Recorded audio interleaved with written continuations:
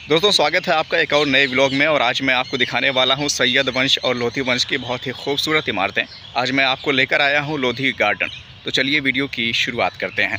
ये लोधी गार्डन का gate number एक है, जहाँ से आपको एंट्री करनी होती है। साथ ही साथ यहाँ खुलने और बंद होने का समय दिया गया है। सर्दी और गर्मी के हिसाब से अलग अलग टाइमिंग है जो आप यहाँ देख पा रहे हैं। और सबसे कमाल की बात है कि यहाँ पर आने के लिए आपको कोई भी टिकट नहीं देना पड़ता। यहाँ बहुत सारे बंदर रहते हैं, जिसकी वजह से यहाँ पर बोर्ड पर चेतावनी भी लिखी गई है कि बंदरों से सावधान रहें।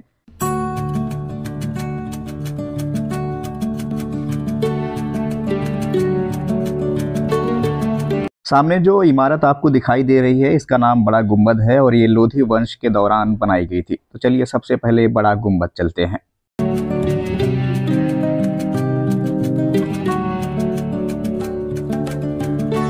हम पहुँच चुके थे बड़ा गुंबद जो आप देख पा रहे हैं, सामने कितनी शानदार इमारत है और इसके राइट साइड में एक मस्जिद है जिसके बारे में यहाँ पर संक्षिप्त परिचय दिया गया है, बड़ा गुंबद मस्जिद। और साथ ही बड़ा गुंबद के बारे में भी जानकारी आपको यहाँ पर मुहैया कराई गई है, जो आप पढ़ सकते हैं। बड़ा गुंबद सैद लोधी गार्डन में चार स्मारक मौजूद हैं। तीन है सिकंदर लोधी का मकबरा शीश गुंबद और मोहम्मद शाह, जो सैयद वंश के थे, उनका मकबरा। सामने जो आप देख रहे हैं, ये बड़ा गुंबद मस्जिद है। जिसकी पाँच मेहराबें हैं और ऊपर कुरान की आयतें लिखी गई हैं। बहुत ही खूबसूरत तरीके से कैलीग्राफी की गई है इन मस्जिदों की मेहराबों पर द्वार पर, और अंदर भी उस तरीके की खूबसूरत कैलीग्राफी की गई है कुरान की आयतें लिखकर। इस मस्जिद की लंबाई 25 मीटर और चौड़ाई साढ़े छः मीटर है, जो लोधी वंश के दौरान इस्तेमाल होने वाली खूबसूरत और चित्रित चूना पत्थर की सजावटी तकनीक का बेहतरीन नमूना है। इसकी अन्य खास विशेषताओं में झरोखे और कोनों पर बनी मीनारें हैं, जिनका आकार कुतुब मीनार जैसा है। मस्जिद के अगले हिस्से में एक आँगन है, जिसमें रोड़ी पत्थर से निर्मित एक टीला है, जो शायद किसी कब्र का चबूतरा रहा होगा। इसके आगे कमरों जैसा है, जो आकार प्रकार में मस्जिद जैसा ही दिखता है, और शायद ये निवास स्थल या मेहमान घर के रूप में इस्तेमाल किया जाता रहा होगा। बड़ा गुंबद मकबरे से लगभग 400 मीटर दक्षिण, पश्चिम और शीश गुंबद से 75 मीटर दक्षिण में मौजूद है। सिकंदर लोधी के शासन के दौरान बड़ा गुंबद निकटवर्ती मस्जिद और मेहमान खाना का निर्माण किया गया था। ऐसा माना जाता है कि बड़ा गुंबद जुमा मस्जिद के प्रवेश द्वार के रूप में काम करता था।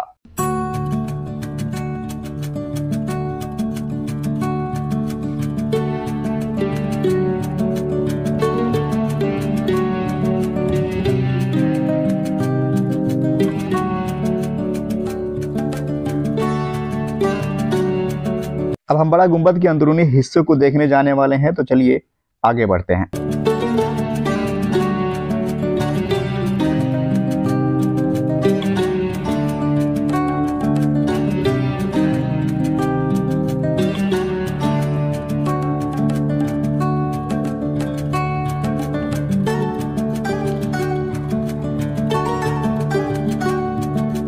बड़ा गुंबद के सामने एक और इमारत मौजूद है, जिसे शीश गुंबद भी कहा जाता है। तो चलिए शीश गुंबद की तरफ़ ले चलते हैं और सामने आप डांस भी देख पा रहे हैं।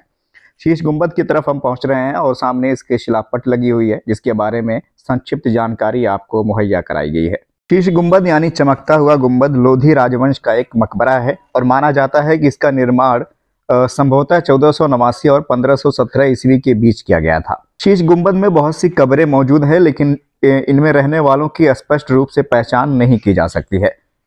इतिहासकारों के अनुसार ये संरचना या तो किसी अज्ञात परिवार को समर्पित की गई थी, या लोधी परिवार और सिकंदर लोधी के दरबार का हिस्सा रही होगी, या बहलोल लोधी को समर्पित की गई होगी, जो स्वयं अफगान लोधी जनजाति के प्रमुख दिल्ली सल्तनत के लोधी वंश के संस्थापक और सुल्तान थे। शीश गुंबद दिल्ली के लोधी गार्डन में मौजूद है और जिस क्षेत्र में यह कबर मौजूद है उसे पहले खैरपुर गाँव कहा जाता था।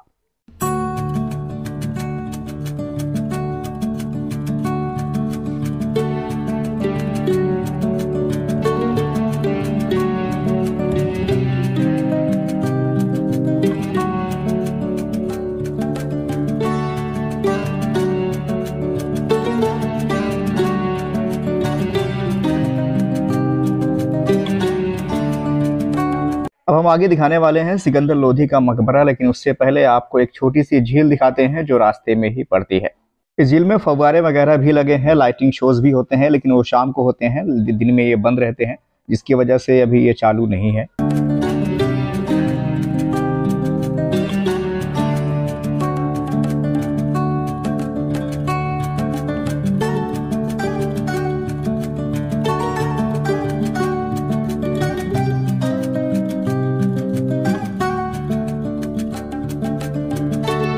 सामने जो इमारत आप देख रहे हैं, ये सिकंदर लोधी का मकबरा है, जो लोधी वंश का दूसरा शासक था और इस मकबरे का निर्माण 1517 ईस्वी में उसके पुत्र इब्राहिम लोधी ने करवाया था।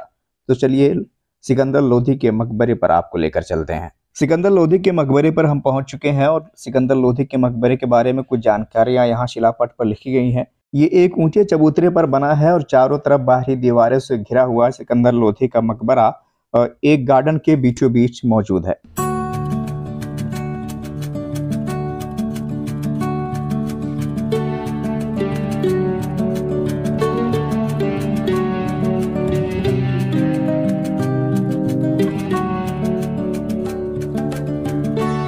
ये सिकंदर लोधी के मकबरे का गेट है, जिसके ज़रिए हम अंदर जा रहे हैं और सामने जो इमारत दिख रही है, वो सिकंदर लोधी का मकबरा है, जो लोधी वंश का दूसरा शासक था और बहुत ही न्यायप्रिय शासक हुआ करता था।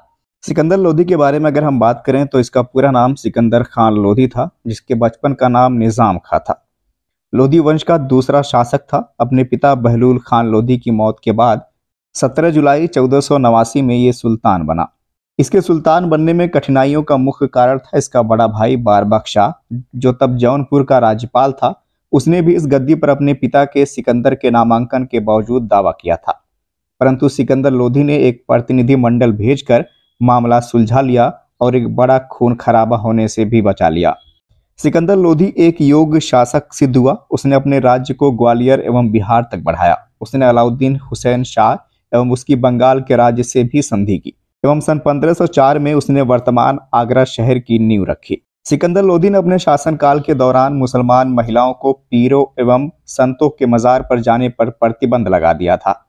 मुसलमानों को ताजिया निकालने पर भी सिकंदर लोधी ने पाबंदी लगा दी थी। सिकंदर लोधी रहमदिली के मामले में भी बेहद आगे था। सिकंदर लोधी सल्तनत काल का एकमात्र ऐसा सुल्तान था, जिसने लूट से कोई भी हिस्सा नहीं लिया। उसने गरीबों के लिए मुफ़्त भोजन की व्यवस्था कराई थी। जबकि निष्पक्ष न्याय के लिए मियाँ भुआ को नियुक्त किया था। सिकंदर लोधी ने ज़मीन के लिए एक प्रमाणिक पैमाना, गजे सिकंदरी का प्रचलन करवाया जो 30 इंच का था। उसने अनाज पर से चुंगी हटा दी और अन्य व्यापारिक कर हटा दिए, जिससे अनाज, कपड़ा एवं आवश्यकता की सभी ज़रूरी चीज़ें सस्ती हो गई। सिकंदर लोधी ने खाद्यान्न पर से जक़ात कर हटा लिया और ज़मीन में गड़े हुए खजाने से भी कोई हिस्सा नहीं लेता था।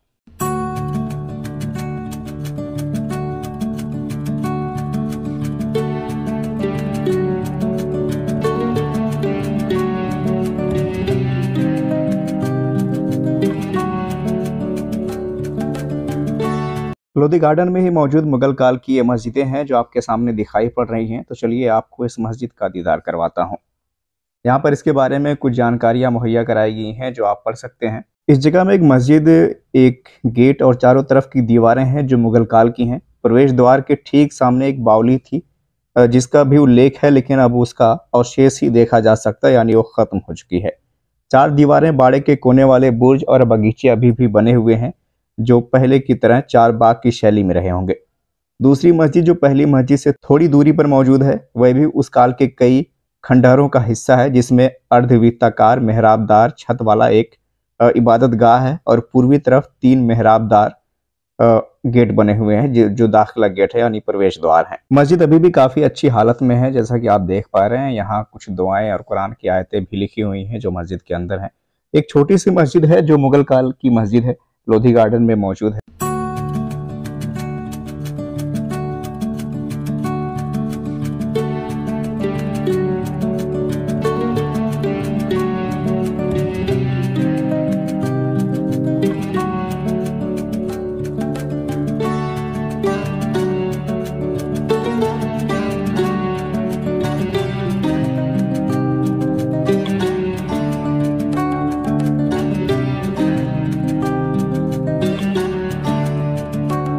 लोधी गार्डन में ही मौजूद सामने एक और इमारत मौजूद है। बहुत ही एक चार दीवारी के किनारे की मीनार है, जिसकी दीवारें अब खत्म हो चुकी हैं। इसकी योजना गोलाकार है, जिसकी बाहरी व्यास चार मीटर है तथा दीवार की मोटाई पचास सेंटीमीटर है।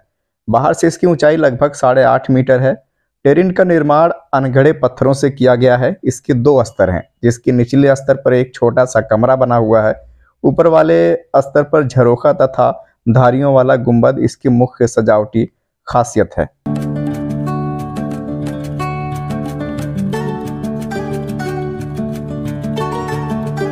अब हम आपको लेकर चलते हैं सैयद वंश के मोहम्मद शाह के मकबरे पर, जो लोधी गार्डन में ही मौजूद है। मोहम्मद शाह सैयद के मकबरे पर जाते समय एक पुल पड़ता है, जो सदियों पहले बना हुआ है, लेकिन आज भी काफ़ी मजबूती से खड़ा हुआ है, जो आप सामने देख पा रहे हैं।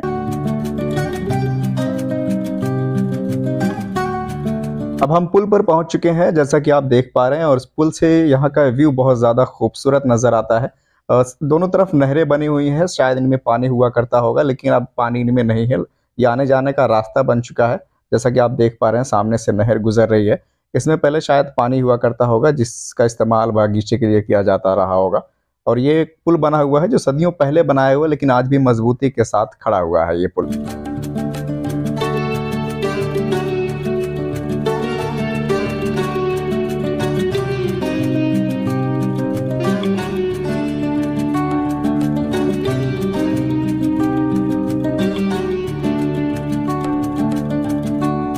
सामने जो इमारत दिख रही है, ये सैयद वंश का मकबरा है, ये मोहम्मद शाह सैयद का मकबरा है।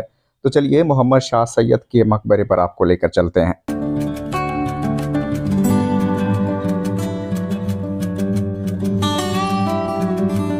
मुबारक शाह के बाद दिल्ली की गद्दी पर मुबारक शाह का भतीजा मोहम्मद बिन फरीद खां, यानी मोहम्मद शाह, गद्दी पर बैठा। उसके शासनकाल के छह महीने उसके वज़ीर सरवरुल मुल्क के अंडर में बीते। मगर छः महीने के बाद ही सुल्तान ने अपने नायब सेनापति कमालुल मुल्क के मदद से वज़ीर का कत्ल करवा दिया। वज़ीर के प्रभाव से आज़ाद होने के बाद मालवा के शासक महमूद द्वारा दिल्ली पर हमला कर दिया गया। मुल्तान में लंगाओं ने विद्रोह किया, जिसे सुल्तान ने खुद जाकर शांत किया। मोहम्मद शाह मुल्तान के सूबेदार बहलोल लोधी की मदद से महमूद को वापस खदेड़ने में कामयाब रहा। मोहम्मद शाह ने खुश होकर बहलोल लोधी को खाने खाना की उपाधि दी और साथ ही उसे अपना बेटा कहकर पुकारा। मोहम्मद शाह के समय की प्रमुख घटनाओं के बारे में अगर हम बात करें तो उसमें सबसे ज़्यादा महत्वपूर्ण था बहलोल लोधी का उदय। बहलोल लोधी ने भी दिल्ली पर हमला किया, मगर वह सफल रहा। अपने आखिरी समय में हुए विद्रोह को दबाने में मोहम्मद शाह नाकामयाब रहा।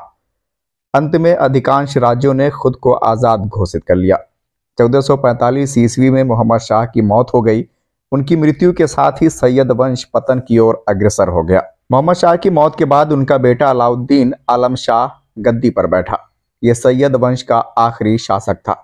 अलाउद्दीन आलम शाह एक नाकामयाब बादशाह हुआ, जिसके समय में दिल्ली सल्तनत का क्षेत्र अति सीमित हो गया, यानी बहुत ही कम हो गया।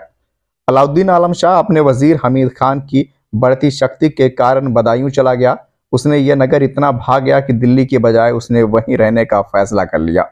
चौदह ईस्वी में बहलोल लोधी ने दिल्ली पर हमला किया था, मगर वह नाकामयाब रहा। आखिर में वज़ीर हमीद खान ने बहलोल लोधी को निमंत्रण भेजा, लेकिन कुछ समय बाद बहलोल लोधी ने हमीद खान का ही कत्ल करवा दिया। 1405 ईस्वी में उसने पूरा शासन अपने नियंत्रण में ले लिया। इसके समय में यह कहावत, देखो शाह आलम का राज दिल्ली से पालम तक बहुत मशहूर हुआ। इसी के समय में दिल्ली सल्तनत के शासन की बागडोर सैयदों से निकलकर लोधियों के पास चली गई। अलाउद्दीन आलम शाह चौदह ईस्वी में अपनी मौत तक बदायूं पर राज करता रहा।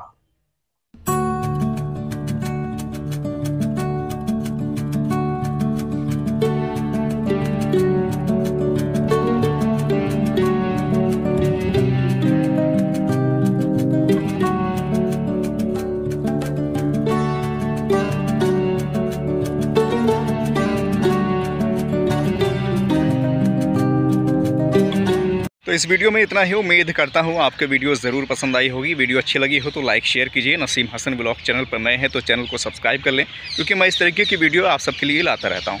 अगली वीडियो में फिर आपसे जल्द ही मुलाकात होगी। तब तक के लिए आप सबका बेहद शुक्रिया।